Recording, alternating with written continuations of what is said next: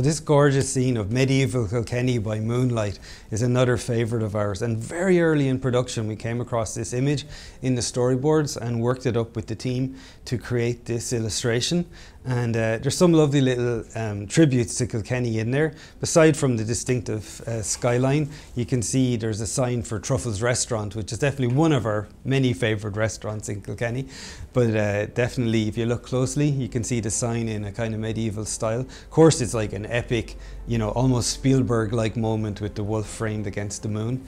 And uh, the style of the town is very clear here with the geometric shapes and the offset woodblock print style.